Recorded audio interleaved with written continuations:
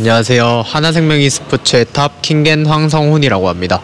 DRX 아트록스가 되게 잘 뽑혀가지고 되게 만족하면서 보고 있었는데 그거랑 이제 흡사한 디자인으로 이제 꼬마 전설이 아트록스로도 나왔더라고요. 멋있게 만들어 주신 것 같아서 너무 감사하게 생각하고 있고 제가 TFT 할 때도 그 꼬마 전설이 아트록스를 계속 쓰지 않을까 생각하고 있습니다. 꼬마 전설이 아트록스 많은 관심과 사랑 부탁드립니다. 감사합니다.